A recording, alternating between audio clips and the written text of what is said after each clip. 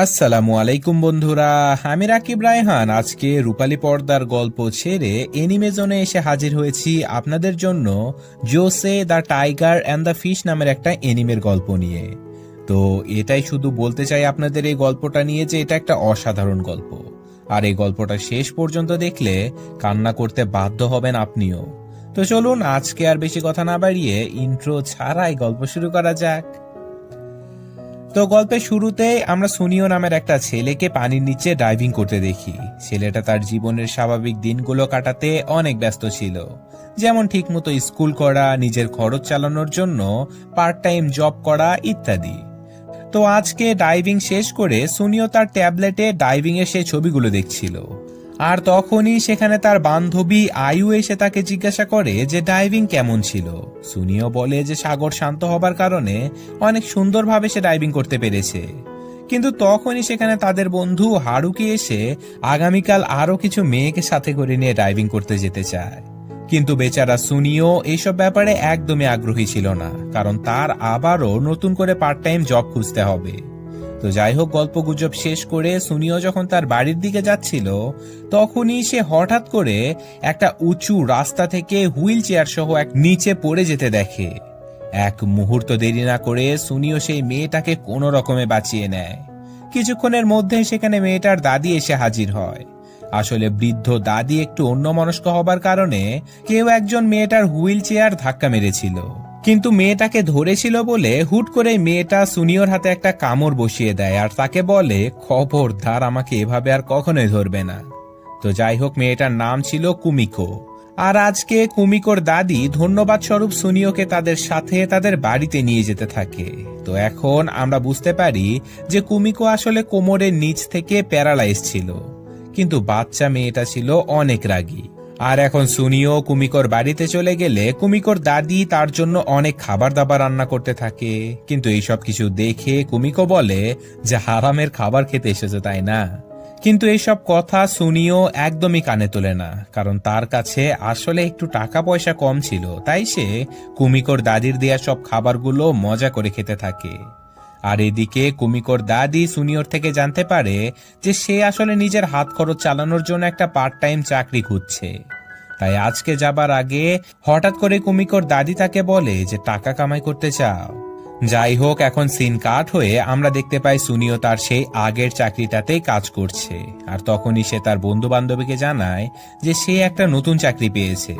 একজন বৃদ্ধ মহিলা তাকে একটা ভালো বেতনের চাকরি দিয়েছে। যাই হোক তখনই সেখানে তাদের বস চলে আসে। আর সুনিও তাদের সবাইকে বলে যে সে আসলে তার হাই স্কুল শেষ করে মেক্সিকোতে চলে যেতে চায় ডাইভিং এর ব্যাপারে পড়াশোনা করতে। কিন্তু তার কাছে যথেষ্ট পরিমাণে টাকা ছিল না, আর এই জন্যই মূলত সে একসাথে দুটো চাকরিতে জয়েন করেছে। কিন্তু সুনিও তাদেরকে ছেড়ে চলে যাবে, এটা শুনে তার বান্ধবী মায়ু অনেক মন খারাপ করে। আর যথারীতি এখন সুনিও চলে আসে তার সেই নতুন জয়েন করা পার্ট টাইম চাকরিতে। যেখানে কুমিকোর দাদি তাকে চাকরির কয়েকটা নিয়ম বলে দেয়। প্রথম নিয়ম হচ্ছে, সব সময় কুমিকোর কথা মেনে চলতে হবে।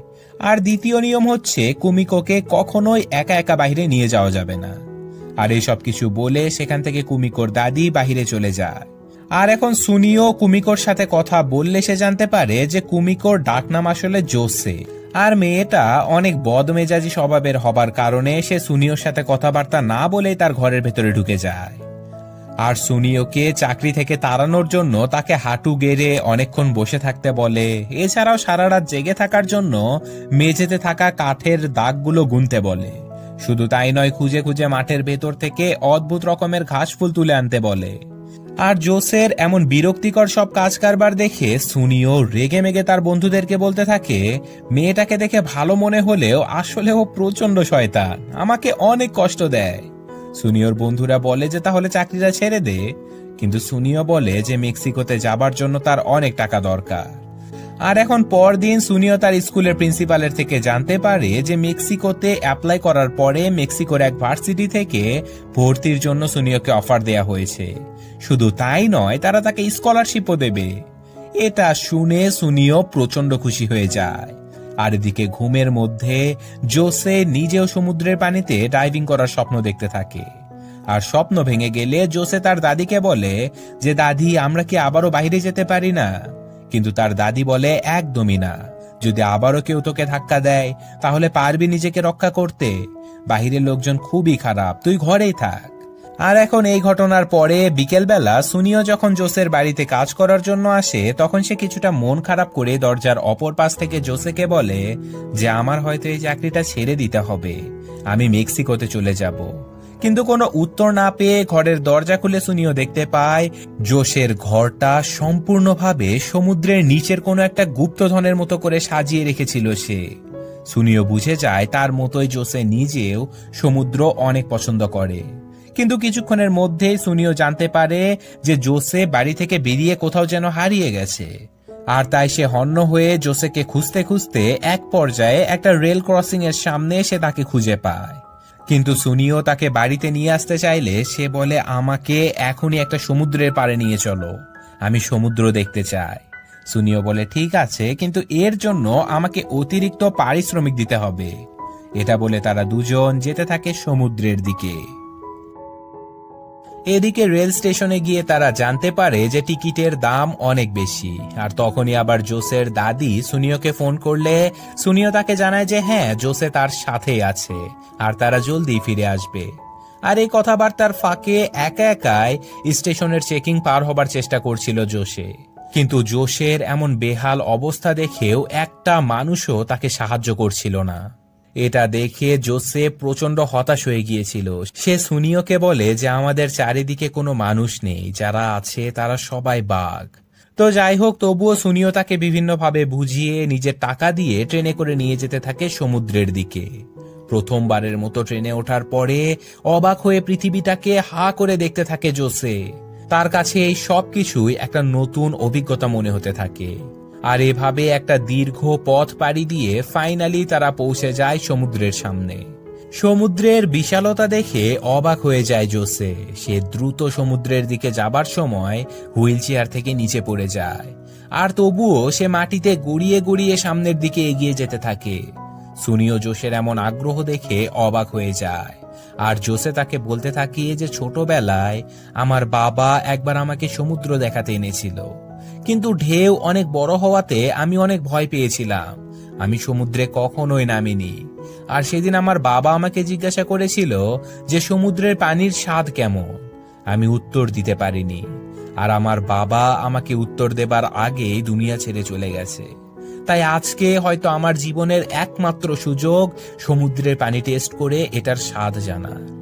এইসব কথা শুনে সুনিও জোসেকে কোলে তুলে নেয়। আর তাকে নিয়ে যেতে থাকে সমুদ্রের পানির দিকে। আর এই প্রথমবারের মতো মুখে ছিটে আসা সমুদ্রের পানির স্বাদ নিয়ে সে বুঝতে পারে যে সমুদ্রের পানি আসলে লবণাক্ত। তাই সে বলে যে বিভিন্ন বই খাতাতে তাহলে সত্যি লেখা ছিল। তো সমুদ্রের বিশালতা দেখে প্রচণ্ড খুশি হয়ে যায় জোসে। সারা দিন তারা সমুদ্রের পাড়ে অনেক মজা করে কাটিয়ে দেয়। আর সন্ধেবেলা যখন বাড়িতে ফিরে আসে, তখন জোসের দাদি সুনিয়র বন্ধুকে ট্রিগার চেপে ধরে বলে, খবরদার, যদি আর কখনো আমার নাতনিকে নিয়ে এভাবে বাইরে চলে গেছো, তাহলে কিন্তু তোমার বন্দুক কেটে হাতে ধরিয়ে দেব একদম। তো যাই হোক, দাদিমা সেখান থেকে চলে যাবার পরে জোসে সুনিয়কে জিজ্ঞাসা করে যে, তুমি আমার সাথে আসলে কেন? সুনিও বলে যে, আসলে যারা সমুদ্র পছন্দ করে, আমার তাদের প্রতি একটা দুর্বলতা আছে। কারণ আমি নিজেও সমুদ্র অনেক ভালোবাসি, আর এই জন্যই আমি মাঝে মধ্যে সমুদ্রের গভীরে গিয়ে মাছেদের সাথে সাঁতার কাটতে অনেক পছন্দ করি। এই কথা শুনে জোসে যেন আকাশ থেকে পড়ে। সে বলে, সত্যি, তোমার কত সৌভাগ্য, তুমি সব কিছু করতে পারো। কিন্তু এখন জোসে প্ল্যান করে যে তার দাদিমা যেহেতু দুপুর একটা থেকে বিকাল তিনটা পর্যন্ত ঘুমায়, তাই তারা দুজন এই সময়টার মধ্যে বাইরে কোথাও ঘুরতে যাবে। তো যেই ভাবা, সেই কাজ। পরদিন থেকে তারা বিভিন্ন জায়গায় ঘুরতে যেতে থাকে। শুধু তাই নয়, তারা বিভিন্ন জিনিসপত্র খেতে থাকে, তারা সিনেমা তারা আন্ডারওয়ার্ল্ড একটা পার্কে ঘুরতে যায়। আর এই সব কিছু জোসে তার জীবনে প্রথমবার করছিল। সে তার জীবনে এতটা খুশি, এর আগে কখনোই হয়নি। আর এভাবে ঘুরতে ঘুরতে একদিন সুনিও জোসেকে নিয়ে তার পার্ট টাইম করার চাকরির স্থানে ঘুরতে নিয়ে যায়। সেখানে হারুকি জোসেকে দেখে রীতিমতো তার সৌন্দর্যে বিমোহিত হয়ে যায়। জোসে বেশ ভালোভাবেই হারুকি এবং আয়ুর সাথে পরিচিত হয়। কিন্তু এক পর্যায়ে আয়ুর সাথে সুনিয়র এমন ঘনিষ্ঠতা দেখে অনেক মন খারাপ করে জোসে। সে সুনিয়কে বলে যে সে এখনই বাড়িতে যেতে চায়। আর বেচারি নিজে থেকেই দ্রুত বাড়ির দিকে যেতে থাকে। সুনিও কিছুই বুঝতে পারছিল না যে হঠাৎ করে জোসের হলোটা কি। কিন্তু এই ব্যাপারটা নিয়ে তাদের দুজনের মাঝে সামান্য একটু কথা কাটাকাটি হয়। কিন্তু অতিরিক্ত রাগ হবার কারণে জোসে রাগ করে সুনিওকে সেখানে ফেলে একা একা বাড়ির দিকে চলে যেতে থাকে। আর বাড়িতে এসে আজকে জোসে তার দাদিকে বলে, তিনি যেন আগামীকাল থেকে সুনিওকে এই বাড়িতে আসতে নিষেধ করে দেয়। আর দাদিও অবাক হয়ে গেলেও জোসের রাগ দেখে তিনি রাজি হয়ে যায়। জোসের দাদি সুনিওকে মোবাইল করে তাকে কাল থেকে চাকরিতে আসতে নিষেধ করে দেয়। কিন্তু কিছুক্ষণ পরে জোসে তার মোবাইলে একটা এস এর মাধ্যমে জানতে পারে যে মেক্সিকোতে সমুদ্র বিজ্ঞানে পড়ার জন্য তাকে হান্ড্রেড পার্সেন্ট স্কলারশিপ দেওয়া হয়েছে। এটা দেখে সে সকল কষ্ট ভুলে মুহূর্তের মধ্যেই প্রচণ্ড খুশি হয়ে যায়। আর এদিকে সুনিওকে ছাড়া একা একাই একটা লাইব্রেরিতে এসে বই পড়তে থাকে জোসে। লাইব্রেরিয়ান সুনিয়র ব্যাপারে জিজ্ঞাসা করলে সে বলে, ওই বলদের কথা আমি আর চিন্তাও করতে চাই না। ভিকারির মতো মানুষের বাড়িতে খাবার খায় আর প্লে বয়দের মতো মেয়েদের সাথে ফ্লার্টিং করে। ওর সাথে লাইব্রেরিতে আসা মানে শুধু শুধু ভিড় বাড়ানো। তো যাই হোক, এইসব কথাবার্তার মধ্যে সেখানে কয়েকজন বাচ্চা এসে জোসের কাছে একটা গল্প পড়ে শোনানোর জন্য আবদার করে বসে। আর বাচ্চাদের এমন কিউট কিউট মুখখানা দেখে জোসে তাদেরকে নিষেধও করতে পারে না। কিন্তু জীবনে প্রথমবার কাউকে গল্প শোনানোর কারণে জোসে অনেক বেশি নার্ভাস ছিল। তাই সে কোনো রকমে একটা মৎস্যকন্যার গল্প বাচ্চাদেরকে শোনাতে থাকে।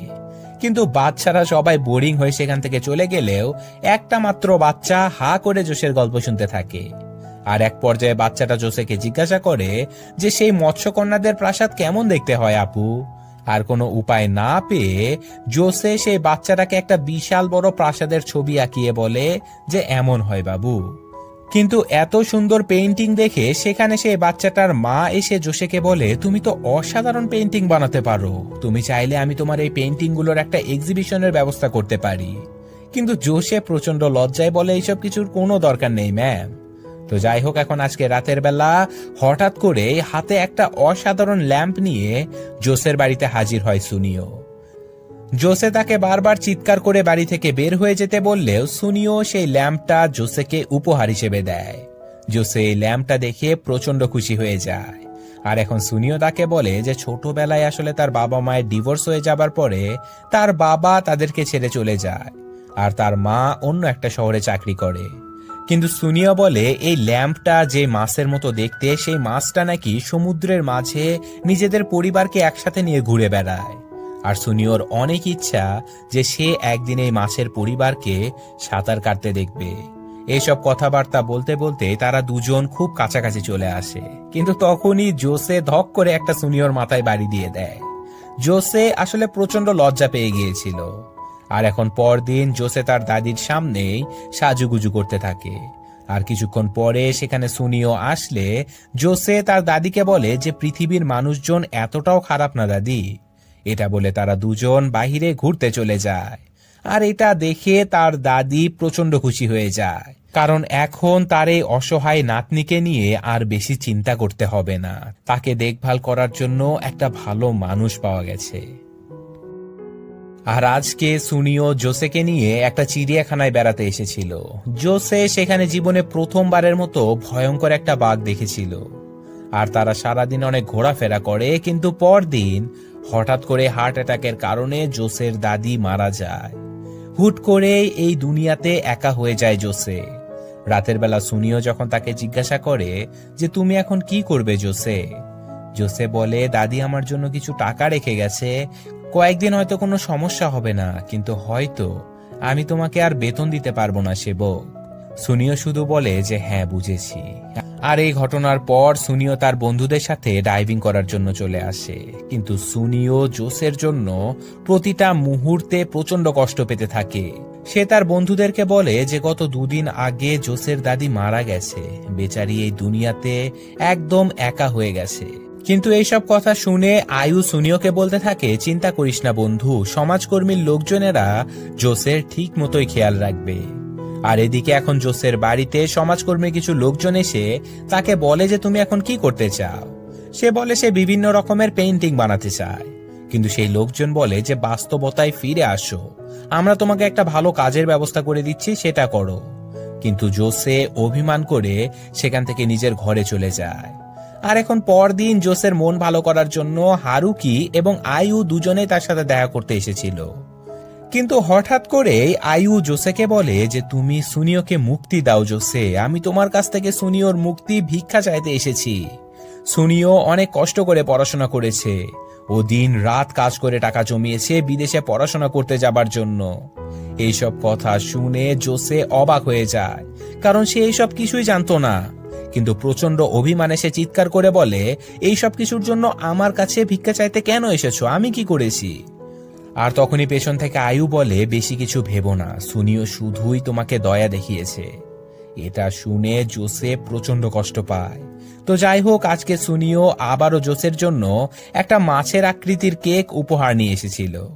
কিন্তু সে জোসের ঘরে ঢুকতে দেখতে পায়, জোসে সেই ঘর থেকে সকল পেন্টিংগুলো সরিয়ে ফেলেছে। শুধু তাই নয়, সমুদ্র বিষয়ক সবকিছু সে ঘর থেকে পরিষ্কার করে ফেলেছে। আর এইসব কিছুর ব্যাপারে জিজ্ঞাসা করলে জোসে বলে যে, আমার ইচ্ছে আমি করেছি। আমার সেবক হিসেবে শেষবারের মতো একটা কাজ করবে। আমি আর একটা বার তোমার সাথে সমুদ্র দেখতে যেতে চাই। জোসের মুখে এমন কথা শুনে আর এক মুহূর্ত দেরি না করে সুনিও তাকে নিয়ে সমুদ্র দেখতে চলে যায়। সেখানে গিয়ে সুনিও জানতে পারে যে জোসে নিজের আঁকা আঁকির কাজ ছেড়ে দিয়ে এখন একটা কোম্পানিতে চাকরি নিয়েছে। সুনিও চিৎকার করে বলে যে আমাকে তোমার কোনো বেতন দিতে হবে না, আমি তোমার সব খেয়াল রাখব, কিন্তু তুমি তোমার আঁকা আঁকি একদমই বন্ধ করো না। কিন্তু জোসে বলে, আমি আর আগের মতো নেই সুনিও। সুনিও জোসেকে বুঝাতে থাকে যে পরিস্থিতি যেমনই হোক, যে কাজটাকে তুমি ভালোবাসো, সেটাকে তুমি কখনোই ছেড়ো না। কিন্তু জোসে বলে, তুমি তো বিদেশে চলে যাচ্ছ, তাই না? আমার জায়গায় তুমি থাকলে বুঝতে পারতে। এই কথা বলে প্রচণ্ড কান্না করতে করতে সেখান থেকে চলে যায় জোসে। কিন্তু চারিদিকে বৃষ্টি নামার কারণে হঠাৎ করে জোসের হুইল চেয়ারের চাকা রাস্তার মাঝে আটকে যায়। ব্যস্ত রাস্তায় জোসে আটকা পড়েছে দেখে সুনিও দৌড়ে ছুটে আসতে থাকে তাকে বাঁচানোর জন্য। কিন্তু হাই কপাল, অপর দিক থেকে আসা একটা গাড়ির ধাক্কায় সুনিওর ভয়ঙ্কর একটা দুর্ঘটনা ঘটে যায়। এক মুহূর্তেই তছনছ হয়ে যায় সবকিছু। সুনিওকে হাসপাতালে নিয়ে আসা হয়, আর ডাক্তারেরা মুমূর্ষ অবস্থা থেকে সুনিওকে কোনো রকমে বাঁচিয়ে তোলে। নিজের আবদার আর সুনিওর এমন করুণ অবস্থার জন্য নিজেকে দায়ী ভেবে প্রচণ্ড কান্না করতে থাকে জোসে। আর এখন কিছুটা সুস্থ হবার পরে ডাক্তারেরা সুনিওকে জানায় যে তার বাম পায়ের হাড় ভেঙে গেছে। ডাক্তারেরা তার পায়ের ভেতরে রড বসিয়ে দিয়ে কোনো রকমে তার পা ঠিক করার চেষ্টা করছে। কিন্তু হতে পারে তার পা আর কখনোই স্বাভাবিকভাবে ভাঁজ হবে না। শুধু তাই নয়, তার হাতটাও ভেঙে গিয়েছিল। প্রচণ্ড অসহায় হয়ে সুনিও যখন হাসপাতালের বেডে শুয়েছিল, তখনই তার সাথে দেখা করার জন্য চলে আসে জোসে। সে তার কাছে অন্তর থেকে ক্ষমা চাইতে থাকে। কিন্তু সুনিও তাকে বলে যে এতে তোমার কোনো দোষ নেই। আর এরপর সুনিও সেখানেই ঘুমিয়ে পড়ে। আর পরদিন সুনিওর প্রিন্সিপাল সেখানে এসে তাকে জানায় যে সুনিও হয়তো এখন আর বিদেশে যেতেই পারবে না। কারণ তার হাতে আর মাত্র চার মাস সময় আছে। সে যদি চার মাসের মধ্যে নিজেকে রিকভার করতে না পারে, তাহলে ওই ভার্সিটি অন্য একজন ছেলেকে নিয়ে নেবে। তো এত বছরের পরিশ্রম আর এত কষ্ট করে জমানো টাকা সব কিছুই এক মুহূর্তের মধ্যেই বৃথা হয়ে যায়। আর তাই পরদিন যখন আয়ু তার সাথে দেখা করতে এসেছিল, তখন সে দেখতে পায় সুনিও তার ভাষা শেখার বইটা ফেলে দিয়েছে। সে বিদেশে যাবার আশা ছেড়েই দিয়েছিল। আর তাই আয়ু সুনিওর মন ভালো করার জন্য তাকে নিয়ে বাহিরে ঘুরতে চলে যায়। সুনিও আয়ুকে বলতে থাকে যে সে জীবনে এখন কি করবে কিচ্ছু বুঝতে পারছে না। তার পা হয়তো আর ঠিক হবে না। সে হয়তো আর কোনো দিনও ডাইভিং করতে পারবে না।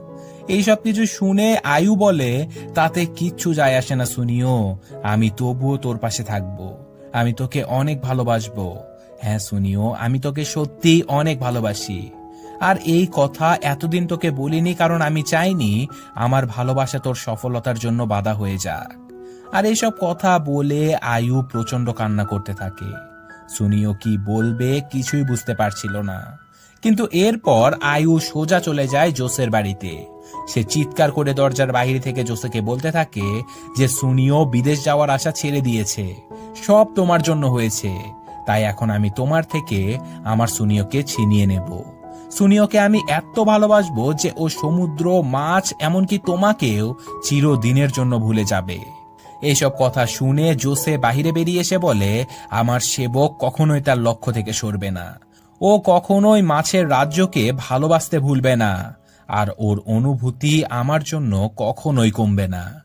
এসব কথা শুনে আয়ু বলে, ঠিক আছে, তাহলে দেখি কার ভালোবাসার জোর বেশি। কিন্তু সেদিনের এই ঘটনার পর থেকে জোসে নিজের ভালোবাসার কাজগুলো করার জন্য বেশি বেশি মনোযোগ দিতে থাকে। সে লাইব্রেরিতে গিয়ে সুন্দর একটা গল্পের বই নিয়ে আসে।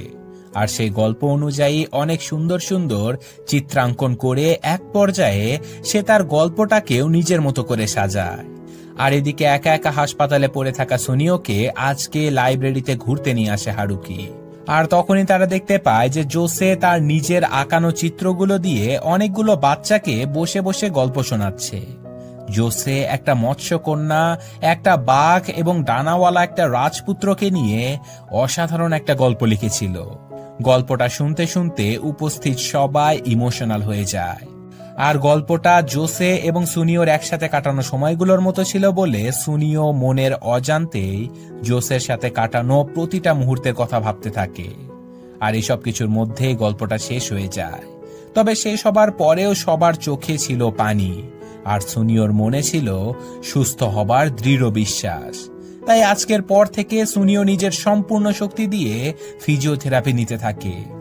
মনের জোরে সুনিও ব্যায়াম করতে করতে মাত্র তিন মাসের মাথায় সে প্রথমবার হাঁটে আর চার মাস হবার পূর্বেই সে সম্পূর্ণ সুস্থ হয়ে যায়।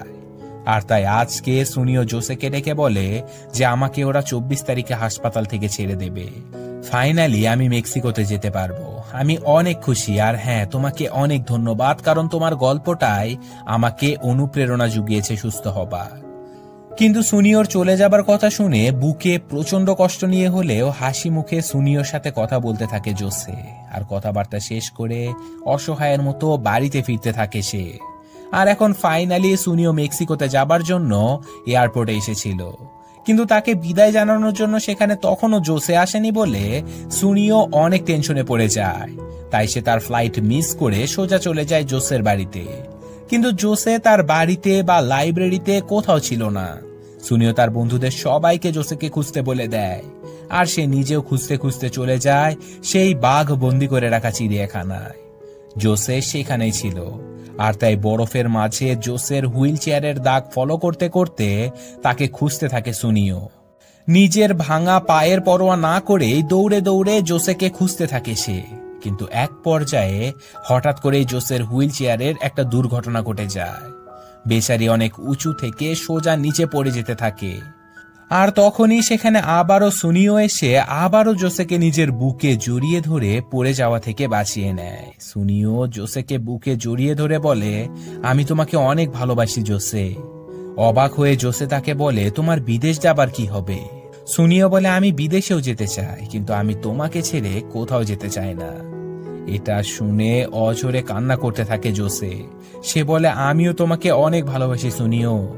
আর তারা দুজন একে অপরকে চুমু দিয়ে ফাইনালি একত্রিত হয়ে যায়। আর এই ঘটনার সাথে সাথে আজকের এই গল্পটা শেষ হয়ে যায়।